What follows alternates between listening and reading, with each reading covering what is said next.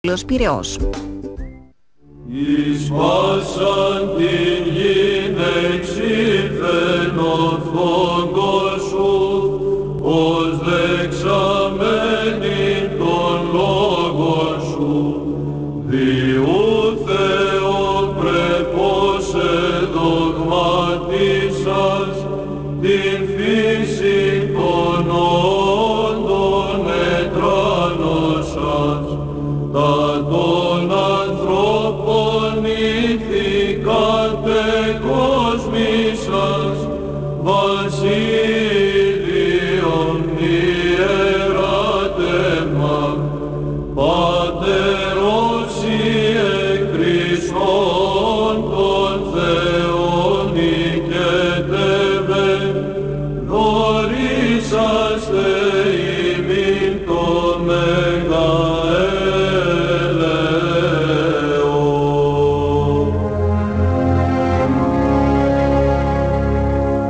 Αφιέρωμα Άγιος Βασίλειος ο Μέγας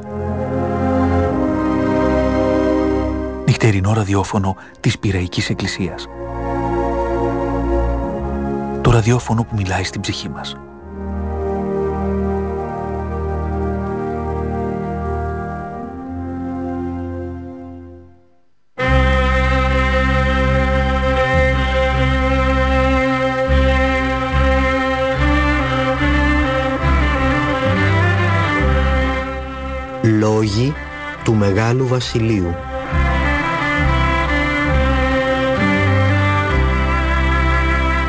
Διαβάζει ο Βασίλης Ατζακλής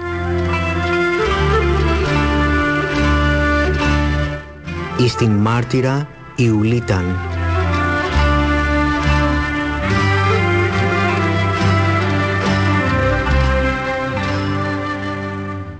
Η αιτία αυτής της συναθρήσεως είναι η πρόσκληση που σας έγινε για να τιμήσουμε τη μακάρια μάρτυρα.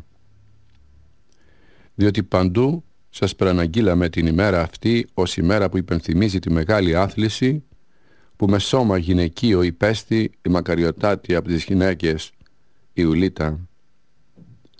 Αν βεβαίως είναι ευλογοφανές να ονομάζεται γυναίκα αυτή που απέκρυψε την ασθένεια της γυναικείας φύσεως με το μεγάλο φρόνημα της ψυχής. Καθότι η άθληση αυτή προκάλεσε τη μεγαλύτερη έκπληξη και σε αυτούς οι οποίοι παρευρίσκονται τότε στο θαύμα και στους μεταγενέστερους, οι οποίοι δέχονται τη φήμη από τις διηγήσεις εκείνων, οι οποίοι είχαν την εμπειρία. Νομίζω ότι ο κοινός αντίπαλός μας, ο οποίος δεν υποφέρει την ήττα από γυναίκες, έχει τόσο πληγωθεί από αυτήν, διότι αυτός που εκαυχάτο και έλεγε τις μεγάλες εκείνες καυχησιολογίες, ότι δηλαδή θα συγκλονίσει την οικουμένη και ότι θα την καταλάβει σαν φωλιά και θα την αφανίσει όπως τα αυγά που έχουν εγκαταλευτεί και θα ρημώσει πόλεις απεδείχθη ότι νικάται από τη γυναικεία αρετή.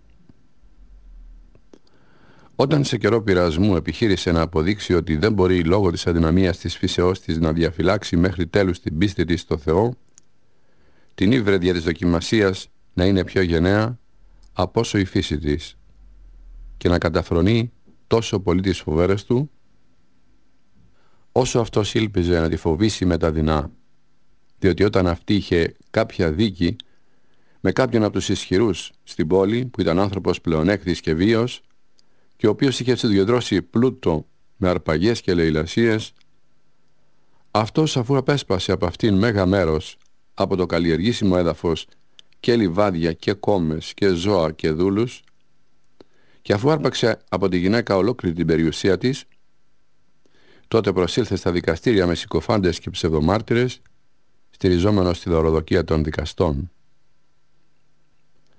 Όταν δε ήρθε η δικάσιμος ημέρα και ο κήρυκας άρχισε να καλεί και ήταν έτοιμοι συνήγοροι και ενώ άρχισε να αποκαλύπτει την καταπίεση αυτού που έμελε να διηγηθεί και τον τρόπο της εξ αρχής αποκτήσεως και τη διάρκεια του χρόνου που επεβεβαίωνε την κυριότητά της και έπειτα να διεκτραγωγεί την βία και την πλεονεξία του ανδρός, εκείνος παρουσιαστής είπε ότι η δίκη δεν μπορεί να διεξαχθεί. διότι δεν επιτρέπεται, είπε, να λαμβάνουν μέρος στα δημόσια πράγματα αυτοί, οι οποίοι δεν λατρεύουν τους θεούς των βασιλέων και δεν απαρνούνται την πίστη στο Χριστό. Στον αρχιδικαστή φάνηκε ότι λέει δίκαια και ότι προτείνει πράγματα υποχρεωτικά για τον νόμο.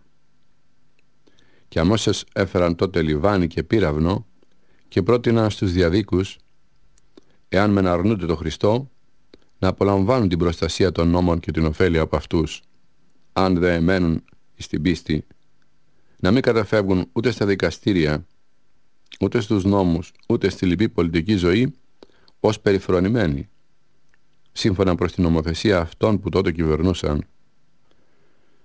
Τι λοιπόν έγινε έπειτα, άραγε σαγηνεύτηκε με τον πλούτο ή μήπως παρέβλεπε το συμφέρον εξαιτίας της διαφιλονικίας της με τον άδικο αντίδικο; Ή μήπως φοβήθηκε τον κίνδυνο που απειλεί το από την πλευρά των δικαστών; Όχι βεβαίως.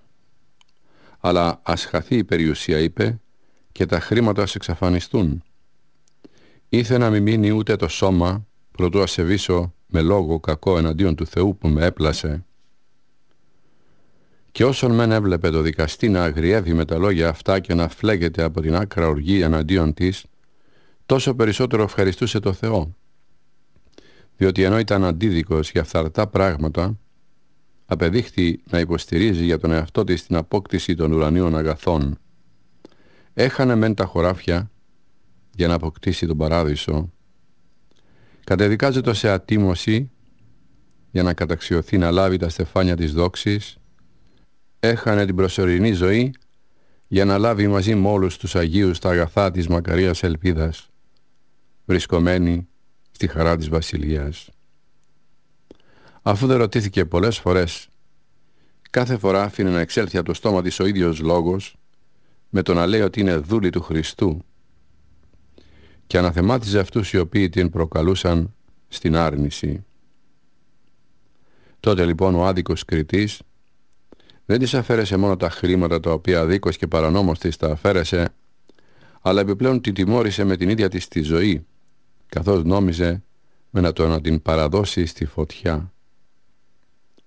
Αυτή όμως δεν θα έτρεχε με τόση προθυμία προς τα τερπνά του βίου, μόση προθυμία ήλθε στη φλόγα εκείνη. Φανέρω τη μεγάλη χαρά της ψυχής της τη φανέρωνε με το πρόσωπό της και μόλι της την εμφάνιση και προέτρεπε τις γυναίκες να παρευρίσκονται εκεί και να μην είναι μαρθακές μπροστά στους κόπους χάριν της ευσέβειας. Μήτε να επικαλούνται την αδυναμία της φύσεώς τους, διότι είμαστε, έλεγε, από το ίδιο φύραμα με τους άντρες. Έχουμε πλαστεί όπως και αυτοί, σύμφωνα προς την εικόνα του Θεού. Από τον κτίστη η γυναίκα έγινε έτσι ώστε εξίσου με τον άντρα να δέχεται την αρετή.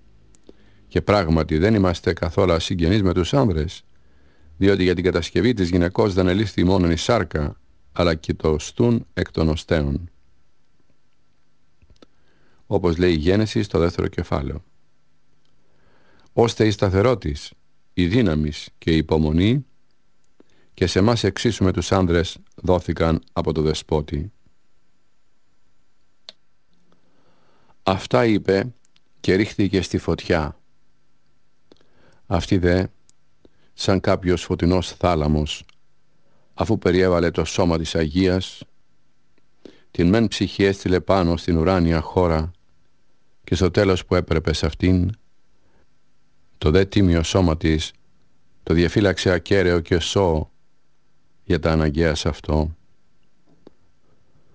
Από κείμενο τούτο στο ωραιότατο προπήλιο του ναού της πόλεως αγιάζει τον τόπο, αγιάζει και αυτούς που προσέρχονται σε αυτόν. Η δε γη η οποία με την εκδημία της Μακαρίας εδέχθη τις ευλογίες ανέβλεσε από τα σπλάχνα της αγίασμα ώστε η Μάρτης λαβούσα τη θέση μητέρας τρέφει τρόπον την άμετο κοινό γάλα τους κατοίκους της πόλεως.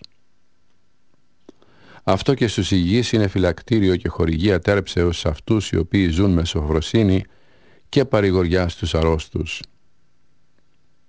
Τη χάρη που ο Ελισέος πρόσφερε στους κατοίκους της Ιεριχούς, την ίδια πρόσφερε και σε μας η Μάρτης, η Βλήτα. διότι μετέβαλε με την ευλογία της σε γλυκιά και απαλή και κατάλληλη για όλους γεύση την αλμύρα των υδάτων που υπάρχουν γύρω από τον τόπο αυτό και που έχουν όλα την ίδια σύσταση. Οι άνδρες να μην καταδεχτείτε να φανείτε κατώτεροι από τις γυναίκες στην ευσέβεια. Οι γυναίκες να μην φανείτε κατώτερες από το παράδειγμα, αλλά χωρίς καμιά δικαιολογία κρατήστε την ευσέβεια. Διότι εμπράκτος γνωρίστε ότι τα μειονεκτήματα της φύσεώς σας δεν σας εμποδίζουν να αποκτήσετε τα αγαθά.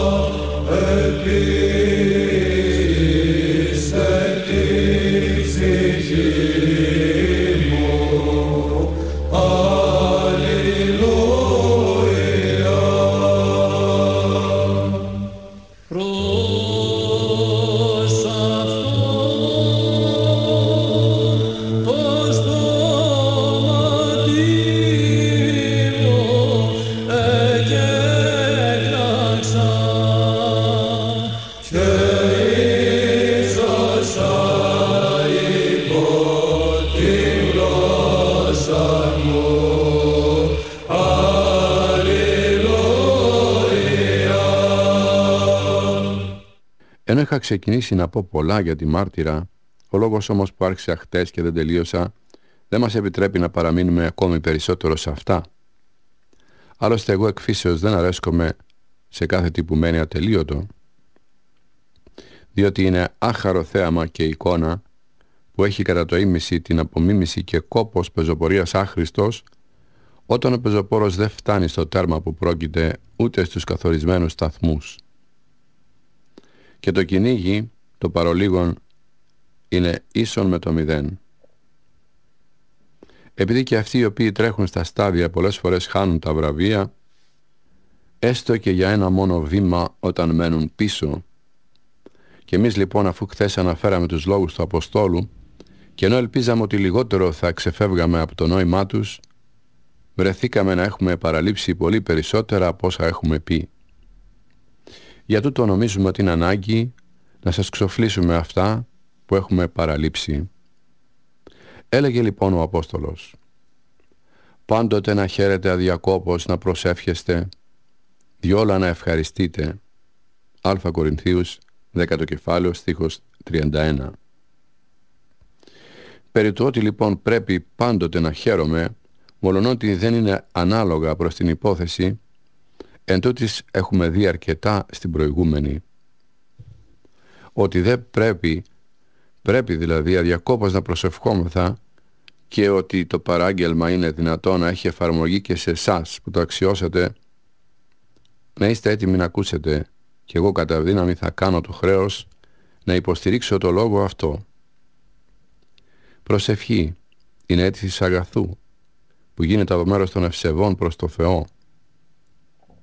Πάντως δεν περιορίζουμε την αίτηση σε λόγους διότι δεν πιστεύουμε ότι ο Θεός έχει ανάγκη να του υπενθυμίζουμε με λόγους, αλλά γνωρίζει πολύ καλά τα χρήσιμα χωρίς να του τα ζητήσουμε. Τι σημαίνει αυτό που λέμε; Ότι πρέπει να μην κάνουμε εμείς την προσευχή με λόγια, αλλά με τη διάθεση της ψυχής και με πράξεις αρετής που να συνοδεύουν ολόκληρη τη ζωή, με αυτό να δυναμώνουμε την προσευχή. Διότι λέει είτε τρώγετε, είτε πίνετε, είτε κάτι άλλο κάνετε, όλα να τα κάνετε για τη δόξα του Θεού.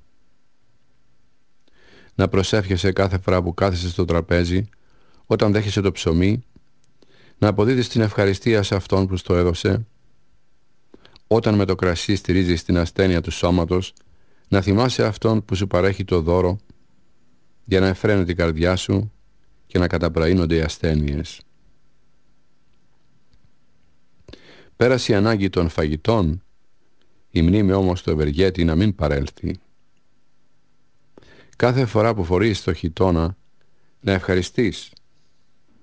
Να ευχαριστείς αυτόν που στον έδωκε. Όταν ντύνεσαι το ημάτιο, να αυξήσεις την αγάπη στο Θεό, ο οποίος μας χάρισε κατάλληλα σκεπάσματα και για το χειμώνα και για το καλοκαίρι, τα οποία και τη ζωή μας προφυλάσσουν και την ασκήμια καλύπτουν. Ετέλειωσε η μέρα να ευχαριστήσει Αυτόν που σε χάρισε τον ήλιο για να μας εξυπηρετήσει στα έργα της ημέρας που μας έδωσε το φως για να φωτίζει τη νύχτα και να εξυπηρετεί τις λοιπές ανάγκες της ζωής. Η νύχτα προξενεί άλλες αιτίες για προσευχή. Όταν σηκώσεις τα βλέμματά σου και κοιτάξεις τον ουρανό και παρατηρήσεις τα κάλλη των άστρων, προσευχήσου στο δεσπότη σου που βλέπεις και προσκύνησε τον Αριστοτέχνη των όλων Θεό που με σοφία τα έκανε αυτά όλα με σοφία έκανε τα πάντα όταν δεις όλα τα ζώα να ησυχάζουν πάλι προσκύνησε Αυτόν που και ακούσια μας αναπάβει στον ύπνο από τη συνέχεια των κόπων και που πάλι ύστερα από μικρή ανάπαυση μας επαναφέρει στην ακμή της δυνάμεως.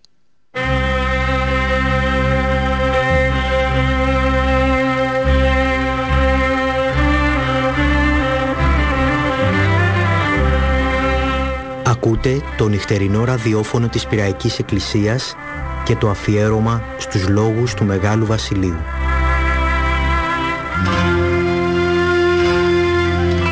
Εις την μάρτυρα Ιουλίταν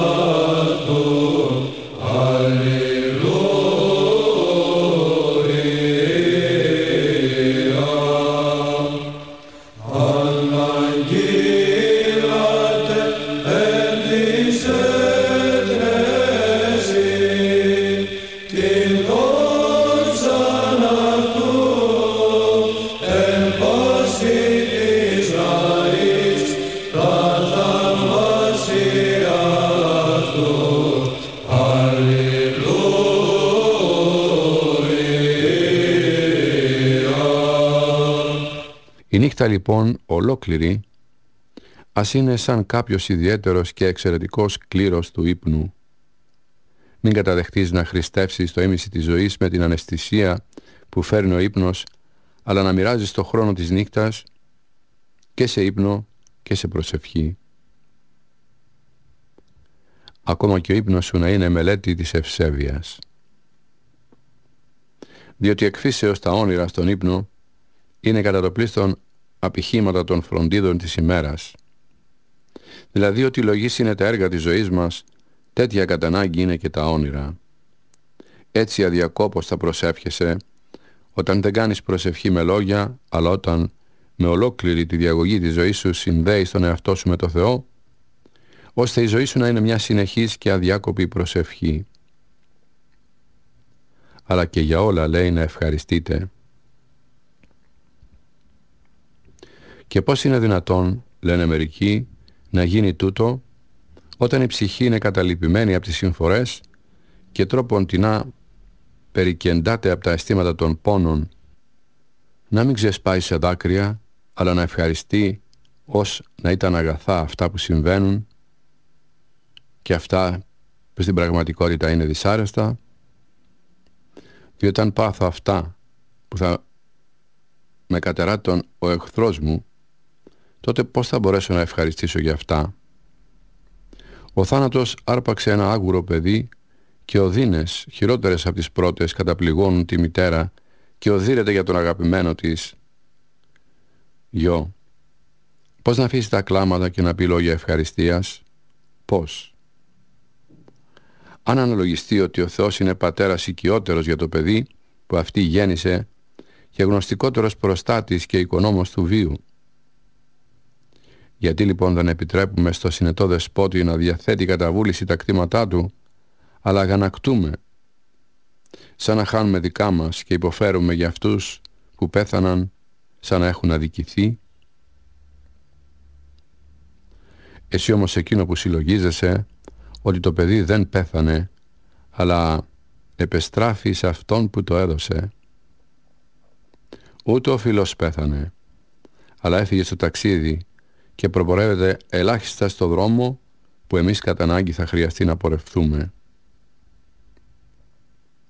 Η εντολή του Θεού να σου είναι σύνικος, σαν κάποιο φως και διάβγεια που αδιακόπως παρέρχεται για τη διάκριση των πραγμάτων.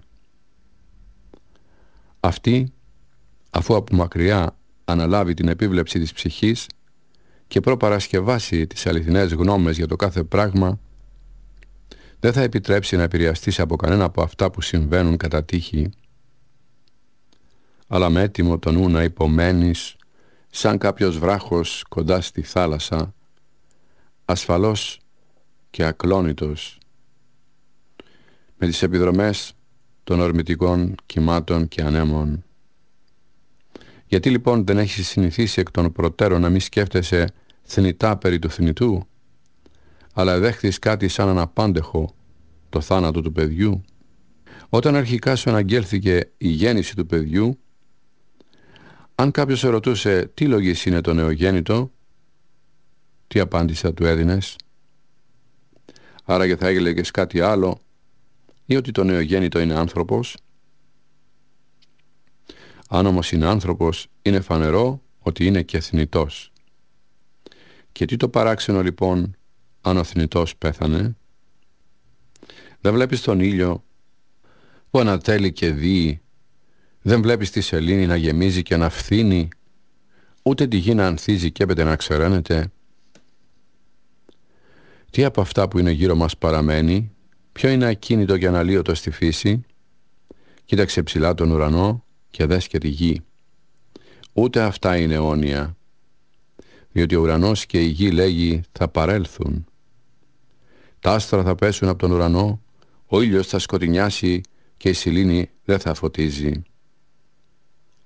Τι το παράδοξο λοιπόν, αν εμείς που είμαστε μέρος του κόσμου απολαμβάνουμε αυτά που συμβαίνουν στον κόσμο, αποβλέποντας προς αυτά όταν και σε σένα έρθει ο κλήρος των κοινών, με ησυχία να υποφέρεις, όχι με απάθεια, ούτε με αναισθησία, διότι είναι πια η αμοιβή της αναισθησίας,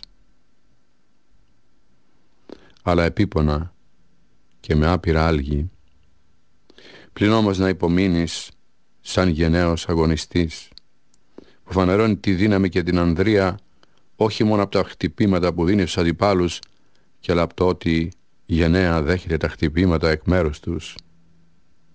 Και σαν σοφός και ατάραχος κυβερνήτης, με την πλούσια πείρα στα ταξίδια, να διατηρείς την ψυχή σου ορθή και ακαταπώνηστη και πιο ψηλά από κάθε τρικυμία. Η στέρηση του αγαπητού παιδιού ή κάποιου προσφυλού συζύγου ή κάποιου άλλου από αυτά τα πολύ φιλικά και με οποιονδήποτε τρόπο συμπάθεια συνδεόμενα μαζί μας πρόσωπα δεν είναι κακό για αυτόν που εκ των προτέρων έχει σκεφτεί σωστά και έχει οδηγό τη ζωή του τον ορθό λόγο και δεν πορεύεται κατά συνήθεια. Διότι ο χωρισμός από τα οικία πρόσωπα λόγω της συνηθίας είναι δυσκολοβάστακτος και στα άλογα ζώα. Μάλιστα εγώ είδα κάποτε ένα βόδι σε ένα παχνίνο να δακρύζει διότι είχε ψοφήσει ο σύντροφός του και το τέρι του στο ζυγό.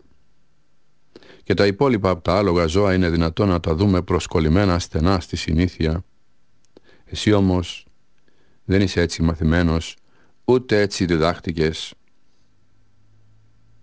Τίποτε το παράδοξο να αρχίσει σημαίνει φιλία κατόπιν μακράς σχέσεως και μακροχρονίου συναναστροφής. Το να θρυνεί όμως κανείς το χωρισμό εξαιτίας της συναναστροφής που υπήρξε για μας μεγάλη είναι καθ' ολοκληρία παράλογο. Παραδείγματος χάρη, σου έλαχε στην κοινωνία του γάμου σύζυγος που σου πρόσφερε κάθε ευχαρίστηση στη ζωή, που είναι αιτία χαράς, πρόξενος ευρωσύνης, που αυξάνει τα καλά και κατά τις λύπες αποδιώκει το μεγαλύτερο μέρος και από τα ανιαρά. Και αυτή ξαφνικά συνερπάγει από το θάνατο και χάθηκε.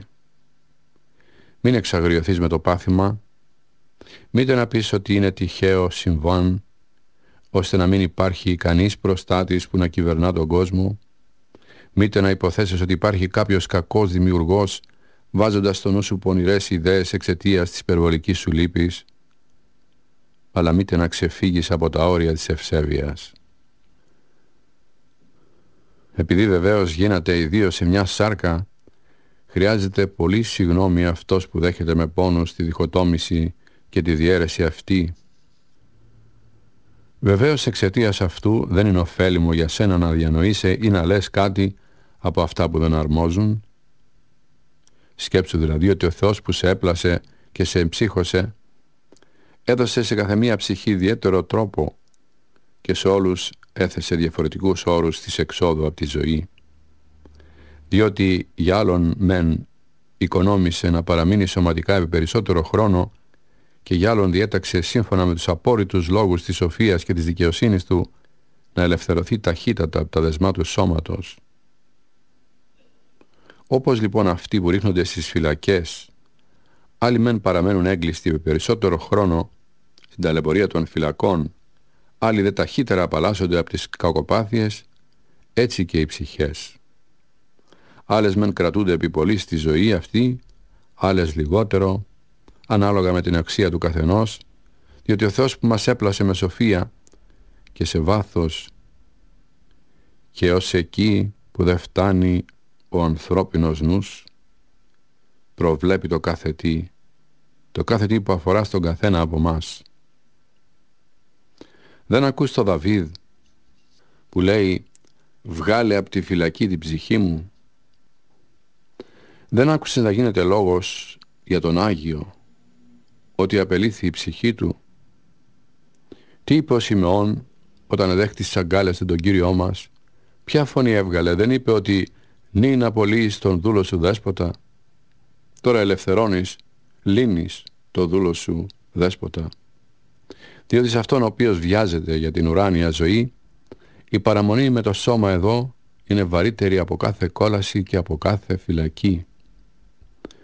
Μη λοιπόν επιδιώκει σύμφωνα με τις απολαύσεις σου να ακολουθούν και οι νόμοι των ψυχών, αλλά σκέψου για αυτά που έχουν συνενωθεί κατά τη ζωή και έπειτα δια του θανάτου χωρίζονται ότι μοιάζουν με οδηπόρους που βαδίζουν ένα δρόμο και από τη συνήθεια έχουν ενωθεί εξαιτίας της συνεχούς μεταξύ τους συναναστροφής. Αυτοί όταν αντιληφθούν ότι έχουν βαδίσει τον κοινό δρόμο και ότι του λουπού αυτός διαχωρίζεται, επειδή η ανάγκη της υποχρεώνει να χωρίσουν, δεν αδιαφορούν για τα προκείμενα με το να προσκολώνται στη συνήθεια, αλλά αφού ενθυμηθούν την αρχική αιτία που σε κίνησε, ο καθένας πέφτει στον δικό του δρόμο, στο δικό του τέρμα. Όπως λοιπόν για εκείνους είναι διάφορος ο σκοπός του δρόμου, συνέβη σε αυτούς η εξοικείωση κατά την οδηπορία λόγω της συνήθειας, έτσι και σε αυτούς οι οποίοι έχουν συνδεθεί με το δεσμό του γάμου ή με κάποια άλλη σχέση στη ζωή, ιδιαίτερο τέλος έχει ο καθένας, το τέλος της ζωής. Αφού κατά ανάγκη συνδέθηκαν μεταξύ τους, τους χώρισε και τους διέλυσε το προκαθορισμένο τέλος της ζωής.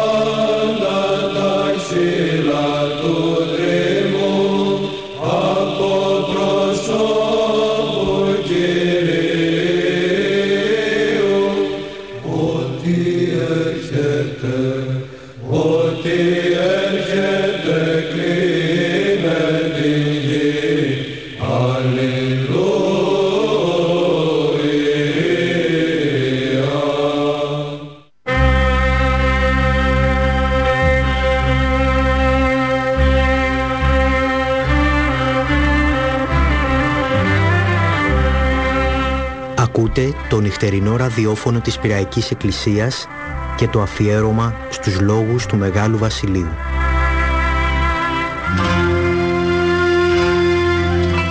Εις την μάρτυρα Ιουλίταν.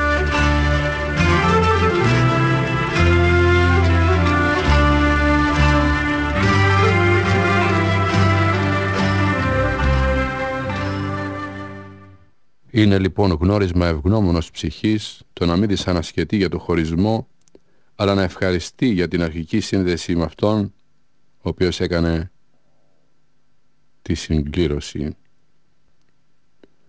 Τον κλήρο δηλαδή και τον δύο.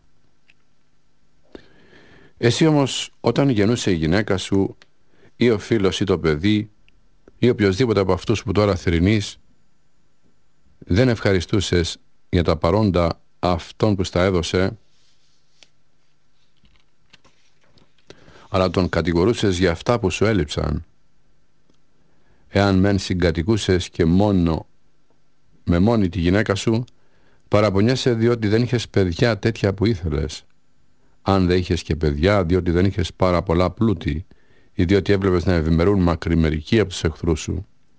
Πρόσεχε λοιπόν μήπως τυχόν εμείς για τους εαυτούς μας κάνουμε αναγκαίες τις στερήσεις των αγαπημένων προσώπων με το να μην τα αισθανόμαστε μεν ότι όταν είναι παρόντα και με το να επιθυμούμε όταν φύγουν από τη ζωή.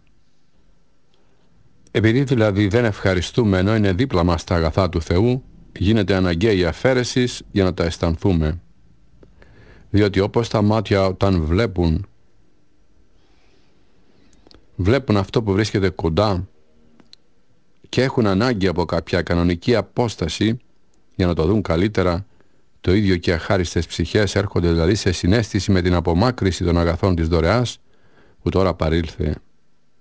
Διότι όταν απολάμβαναν τα αγαθά δεν αναγνώριζαν καμία χάρη στο δοτήρα. Μετά τη στέρηση όμως μακαρίζουν το παρελθόν. Αλλά κανένας από εμάς δεν αποκλείεται από καμιά περίσταση της ζωής από το να ευχαριστεί το Θεό, αλλά με ευγνωμοσύνη αν θέλει να αναλογίζεται κάθε πράγμα. Διότι η ζωή του καθενός από μας έχει πολλά σημεία προς εξέταση και μάλιστα όχι δυσάρεστα, εάν βεβαίως καταδεχτούμε να αποβλέπουμε προς το κατώτερο και έτσι από τη σύγκριση με το χειρότερο να υπολογίζουμε πόσο αξίζει το αγαθό που κατέχουμε. Είσαι δούλος, έχει πιο κάτω από σένα. Να ευχαριστείς διότι δεν είσαι ανώτερος από ένα, αλλά δεν έχεις καταδικαστεί να γυρίζεις στη μιλόπετρα, διότι δεν ξυλοκοπιέσαι. Δεν θα του λείψουν οι αφορμές από το να ευχαριστεί και αυτός. Διότι δεν φοράει χειροπέδες, διότι δεν έχει δεθεί σε ένα ξύλο, σε έναν πάσαλο. Αυτός που είναι δεμένος έχει αρκετή αφορμή να ευχαριστεί για το ότι ακόμα ζει. Βλέπει τον ήλιο, αναπνέει τον αέρα, Γι' αυτά να ευχαριστεί. Τιμωρείσαι άδικα, να χαίρεσαι με την ελπίδα των μελώντων. Δίκαια καταδικάστηκες και πάλι να ευχαριστείς διότι ενώ τιμωρείσαι, εδώ για όσα έπραξες, δεν αποταμίευσες για την αιώνια κόλαση τα αμαρτήματά σου. Κατά αναλογία βεβαίως είναι δυνατό ευγνώμονας να αποδίδει μεγάλες ευχαριστίες στον ευεργέτη για τα παρόντα και σε κάθε περίσταση της ζωής και για όλα τα έργα. Διότι τώρα οι πιο πολλοί έχουν πάθει αυτό που παθαίνουν οι δυσαρεστούμενοι με το να περιφρονούν τα παρόντα και να επιθυμούν τα απόντα. Διότι με το να μην λογαριάζουν τους κατώτερούς τους δεν ευχαριστούν τον ευεργέτη για τα αγαθά που έχουν αλλά δια της συγκρίσεως προς αυτό που υπερέχει αναλογιζόμενοι πόσο υπολείπονται στεναχωρούνται και δυσαρεστούνται επειδή νομίζουν ότι όσα έχουν οι άλλοι είναι δικά τους τα οποία τα έχουν στερηθεί. Ο δούλος επειδή δεν είναι ελεύθερος δυσανασχετεί. Και αυτός που μεγάλωσε ελεύθερος διότι δεν είναι ευγενής, ούτε ανήκει σε αυτούς που είναι περίβλεπτοι για την ευγενική τους καταγωγή και ότι δεν έχει να παριθμίσει προς τα πίσω 7 παππούδες που να ήταν λαμπροί, αλογοτρόφοι ή που να είχαν καταξοδεύσει τον πλούτο τους σε μονομάχους. Αυτός που έχει ευγενή καταγωγή με ψημυρή διότι δεν είναι πλούσιος. Ο πλούσιος απ' την άλλη λυπάται και θρυνεί διότι δεν είναι κυβερνήτης πόλεων και εθνών. Ο στρατηγός παραπονείται διότι δεν είναι βασιλιάς. Ο βασιλιάς παραπονείται διότι δεν κυβερνά ολόκληρη την Ιφίλιο. Αλλά υπάρχουν έθνη που δεν υποτάσσονται στα σκύπερα του. Από όλα αυτά βγαίνει το συμπέρασμα ότι για τίποτα δεν αποδίδεται ευχαριστία στον ευεργέτη. Αλλά εμείς, αφού παραβλέψουμε τις λύπες από απόντα πράγματα, ας διδαχτούμε να αποδίδουμε ευχαριστία για τα παρόντα. Στις πιο σκυθροπές περιστάσεις των πραγμάτων, ας πούμε στο σοφό γιατρό, εις μεγάλη μακρά θλίψη η τιμωρία σου σε μας. Ας πούμε, ήταν καλό για μένα, διότι με ταπείνωσες. Ας πούμε επίσης ότι τα παθήματα του παρόντος καιρού δεν έχουν καμιά αξία συγκρινόμενα με τη δόξα που μέλει να αποκαλυφθεί. Το λέει και ο Παύλος στους Ρωμαίους στο 8ο κεφάλαιο. Ας πούμε επίσης ότι πολύ λίγο τιμωρηθήκαμε για όσα πράξαμε. Ας παρακαλέσουμε τον Κύριο και ας πούμε διόρθωσέ μας Κύριε, αλλά με δίκαιο μέτρο και όχι με την οργή σου. Διότι όταν κρινόμαστε διαπαιδαγούμεθα από τον Κύριο για να μην κατακριθούμε μαζί με τον κόσμο. Στα ευχάριστα γεγονότα της ζωής ας λέμε εκείνο το λόγο του Δαβίδ τι να ανταποδώσω στον Κύριο για όλα όσα μου ανταπέδωσε. Μας έφερε στην ύπαρξη από το μηδέν. Μας τίμησε με το λογικό. Μας χάρισε τέχνες ως συνεργούς στη ζωή. Από τη γη βγάζει τροφές. Μας έχει δώσει τη βοήθεια των ζώων. Για μας υπάρχουν οι βροχές, για μας ο ήλιος. Τα ορεινά παιδιάδες έχουν διαταχθεί προς χάριν μας να μας προφυλάσσουν από τις κορφές των βουνών. Για τη δική μας χάρη τρέχουν τα ποτάμια, προς χάρη μας αναβλύζουν οι πηγές. Προς χάρη μας η θάλασσα γανιλεύει για το εμπόριο. Τα πλούτια από τα μεταλλεία, οι απολαύσεις από κάθε πλευρά, ολόκληρη η κτήση μας φέρνει δώρα λόγω της πλούσιας και αυτόνου δωρεάς του ευεργέτη προς εμάς.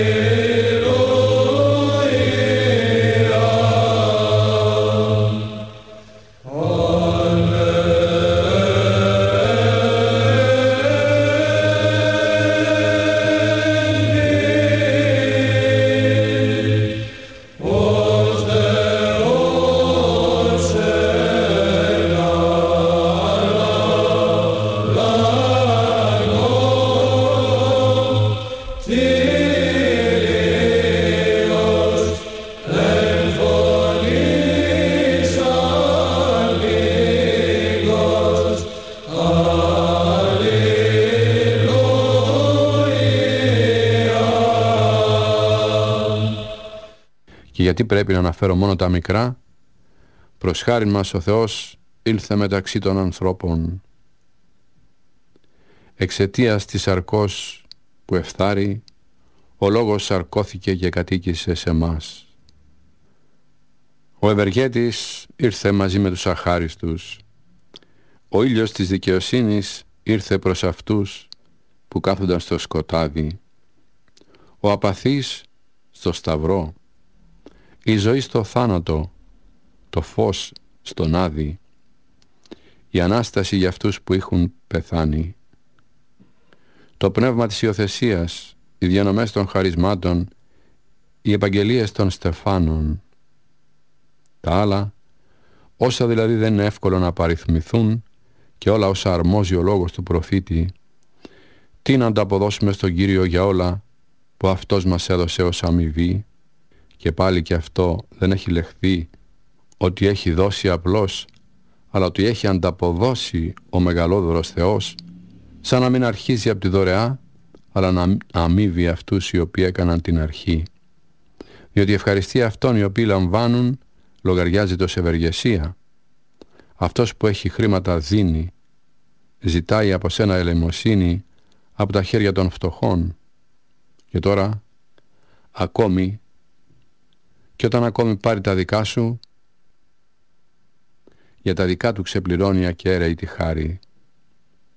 Τι λοιπόν θα το αποδώσουμε στον Κύριο για όλα αυτά που μας έχει ανταμείψει; Διότι δεν επιθυμώ να επαναλάβω το λόγο του προφήτη που καλώς εκφράζει την απορία και εξετάζει τη φτώχεια του διότι δεν έχει τίποτα το άξιο σε ανταπόδοση.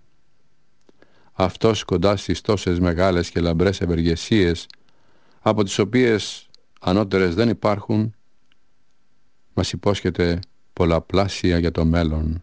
Δηλαδή παραδυσιακή τρυφή και δόξα στη βασιλεία του. Και τιμές άξιες προς τους αγγέλους και γνώση του Θεού πράγμα που είναι το ύψιστο από τα αγαθά για τους άξιους. Κάθε λογικό όν αυτό το αγαθό επιθυμεί. Μακάρι και εμείς να το πετύχουμε αφού καθαρίσουμε τους εαυτούς μας από τα πάθη. Πώς λοιπόν λένε, θα εκδηλώσουμε στον πλησίον την ελεημοσύνη και τη φιλοστοργία, που είναι το πρώτο και το πιο τέλειο από τα αγαθά, διότι η αγάπη είναι η πλήρωση του νόμου. Εάν αφού προσέλθουμε σε αυτούς, σε μερικούς που βρίσκονται σε μεγάλες εισφορές και δεν κλάψουμε μαζί τους ούτε δακρύσουμε, αλλά ευχαριστούμε για αυτά που τους συνέβησαν, διότι το να υπομένουμε τα παθήματά μας με ευχαριστία αποδεικνύει υπομονή και καρτερία. Με το να ευχαριστούμε όμως το Θεό για τις ξένες συμφορές είναι γνώρισμα χερέκακου ανθρώπου που εξοργίζει αυτούς που λυπούνται και μάλιστα τη στιγμή κατά την οποία ο Απόστολος μας προτρέπει να κλαίμε με εκείνους οι οποίοι κλαίνε. Τι λοιπόν θα απαντήσουμε σε αυτά; Ή πάλι κατά ανάγκη θα σας επιανθυμίσουμε για ποια πράγματα διαταχτήκαμε να χαίρουμε και για ποια να πενθούμε. Να χαίρετε λέει και να αγαλιάστε διότι η ανταμοιβή σας θα είναι μεγάλη στους ουρανούς. Και πάλι λέει «Θυγατέρες της Ιερουσαλήμ μην κλαίτε για μένα, αλλά κλάψετε για τα τέκνα σας». Λοιπόν, ο Θείος Λόγος μας επιτρέπει αφενός μεν να χορεύουμε και να αγαλόμεθα, μαζί με τους δικαίους, αφετέρου να πενθούμε και να κλαίμε μαζί με αυτούς που χύνουν δάκρυα μετανοίας ή να κλαίμε γοηρά για αυτούς που παραμένουν ανέστητοι διότι ούτε καν γνωρίζουν ότι χάνονται. Δεν αρμόζει να νομίζουμε ότι κάποιος εκπληρώνει την εντολή εάν δεν κλάψει στο θάνατο ανθρώπων και δεν βγάλει κραυγή μαζί με τους πενθούντας διότι ούτε τον ιατρό επενώ που αντί να βοηθεί τους ασθενείς ο ίδιος να είναι γεμάτος από νοσήματα. Ούτε τον πλοίαρχο που αντί να επιβάλλεται σε αυτούς που ταξιδεύουν και να αγωνίζεται εναντίον των ανέμων να αποφεύγει τα κύματα και να παρηγορεί τους πιο δειλούς, ο ίδιος παθαίνει ναυτία και παραπέει με αυτούς που είναι άπειροι από θάλασσα. Τέτοιος είναι λοιπόν αυτός που προσέρχεται στους πενθούντες και δεν μεταδίδει ωφέλεια με το λόγο του, αλλά συμμετέχει στην ασχημοσύνη των ξένων συμφορών. Είναι επόμενο λοιπόν να θλιβόμεθα για τις συμφορές των πενθούντων, διότι έτσι θα γίνει συμπαθής και στους πάσχοντες.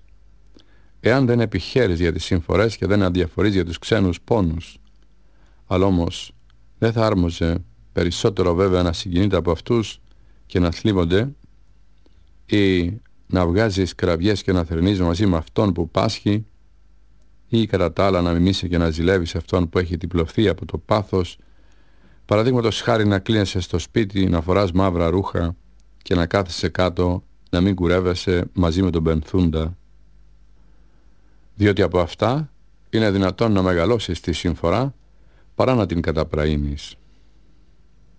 Δεν βλέπεις ότι επιτείνονται οι πόνοι όταν στα τραύματα προστίθεται το πρίξιμο των βοβονικών αδένων και στον πυρετό το πρίξιμο της πληνός και τα χέρια με το απαλό χάδι το καταπραίνουν το μέρος που πονά.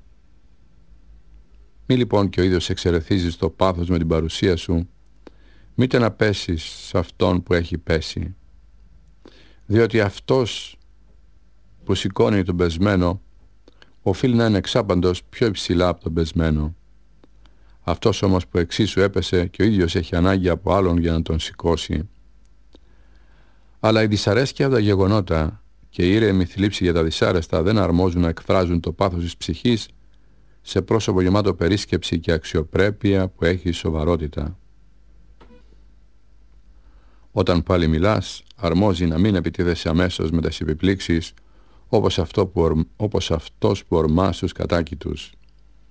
Διότι είναι βαρύ πράγμα οι επιτιμήσεις αυτούς που η ψυχή τους έχει ταλαιπωρηθεί από τη λύπη και συνάμα οι λόγια αυτών που με απάθεια συμπεριφέρονται δύσκολα γίνονται αποδεχτοί από αυτούς που υποφέρουν και είναι απρόσφοροι για παρηγοριά. Αλλά αφού επιτρέψεις να φωνάξει και να θρυνήσει μάταια και χωρίς κανένα αποτέλεσμα, τότε με προσοχή και προότητα να καταπιαστείς με την παρηγοριά. Οπότε το κακό θα έχει κιόλας χαλαρώσει και υποχωρήσει κατά κάποιον τρόπο. Άλλωστε και οι πουλαροδαμαστές, τα ανυπόκτακτα τα πουλάρια δεν τα σταναχωρούν αμέσως με τα χαλινά, ούτε τα τραβάνε προς τα πίσω, διότι έτσι μαθαίνουν να σηκώνουν τη χέτη και να ρίχνουν κάτω τους αναβάτες.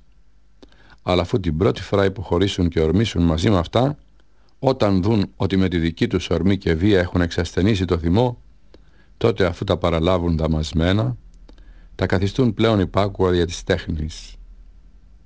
Έτσι θα γίνει σύμφωνα με και με το λόγο του Σολομώντος. Είναι καλόν να εισέλθει κανείς στην οικία του πένθους, μάλλον παρά στην οικία του μέθουσου.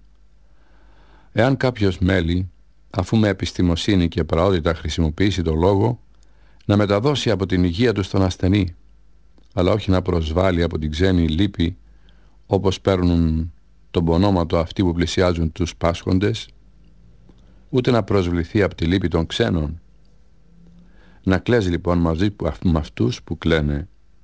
Όταν δεις τον αδερφό σου να οδύρεται, λόγω μετανοίας, για αυτά που αμάρτησε, κλάψε με αυτόν και συμπόνατε. Έτσι θα συμβεί να διορθώσεις τα ξένα παθήματα, με τα ξένα παθήματα το δικό σου. Διότι αυτός που έξισε θερμά δάκρυα για την αμαρτία του πλησίον, θεράπευσε τον εαυτό του για, για αυτούς και που εθρύνησε και τον αδελφό. Τέτοιος ήταν αυτός που λέει «Με κατέβαλε θλίψη εξαιτίας των αμαρτιών που εγκαταλείπουν τον νόμο σου». Να κλαις για την αμαρτία. Αυτή είναι αρρώστια της ψυχής, αυτή είναι ο θάνατος της αθάνατης ψυχής. Αυτή είναι άξια πένθους και καταπαύστων οδυρμών. Μακάρι για αυτήν να χύνεται κάθε δάκρυ και να μην σταματάει να ανεβαίνει από το βάθος της καρδιάς ο στεναγμός. Ο Παύλος έκλαιγε για τους εχθρούς του Σταυρού του Χριστού. Ο Γερεμέας έκλαιγε για αυτούς που χάνονται από το λαό. Αυτός βεβαίως επειδή δεν αρκούσαν τα φυσικά του δάκρυα, επιζητούσε πηγή δακρύων και τελευταίο σταθμό. Και θα καθίσω λέει και θα κλάψω το λαό αυτό που πολλές ημέρες θα κλάψω αυτούς που χάνονται. Αυτό το δάκρυ και αυτό το πένθος μακαρίζει ο λόγος και όχι αυτό που πολύ εύκολα χύνεται για κάθε λύπη και πολύ εύκολα έρχεται στα μάτια εξαιτίας κάθε αφορμής.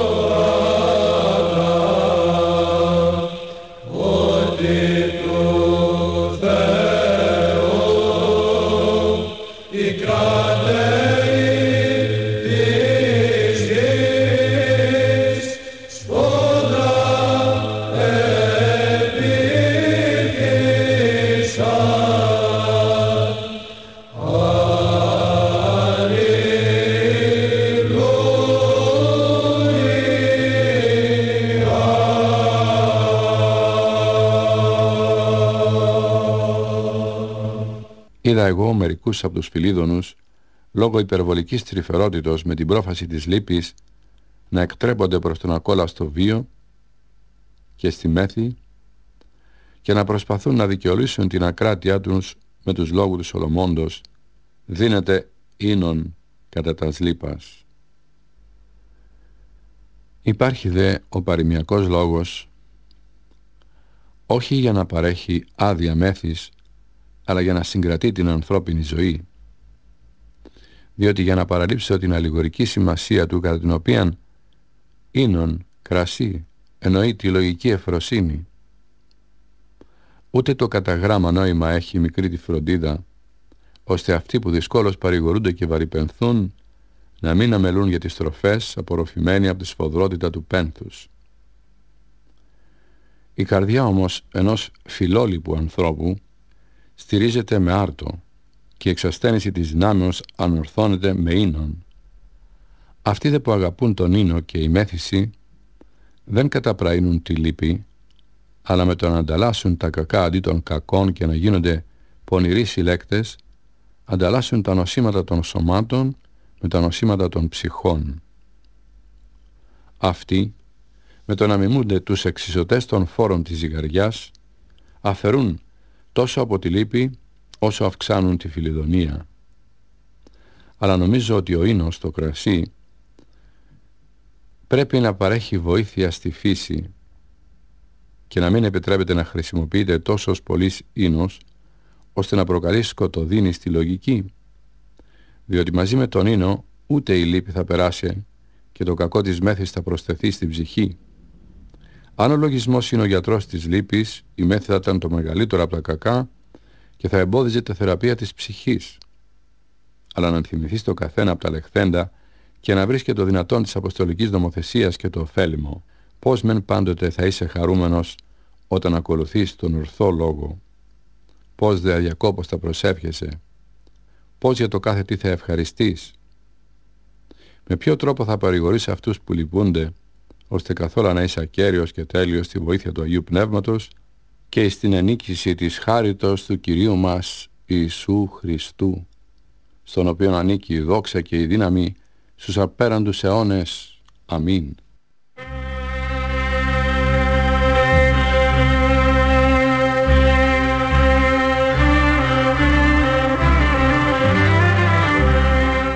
Ακούσατε το αφιέρωμα του νυχτερινού ραδιοφώνου της Πυραϊκής Εκκλησίας στους λόγους του Μεγάλου Βασιλείου.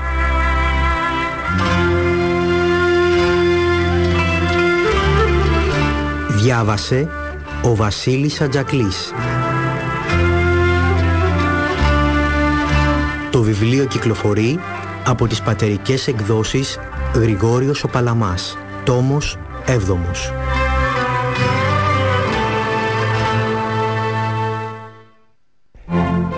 Εδώ που η φαντασία σμίγει με την τέχνη και τα πολύτιμα πετράδια παίζουν με το χρυσάφι, εδώ δημιουργούμε με αγάπη και ευαισθησία μοναδικά χειροποίητα κοσμήματα για τις ανεπανάληπτες στιγμές της ζωής σας. Golden Pub, το ομορφότερο και φιλικότερο χρυσοχοείο της Αθήνας. Golden Pub Χρήστος Παπαρούπας, δίπλα στον Άγιο Κωνσταντίνο Ομονίας, Κουμουνδούρου 18. Βρείτε μας και στο goldenpub.gr. Δωρεάν πάρκινγκ για τους πελάτες μας, Αγίου Κωνσταντίνου 45.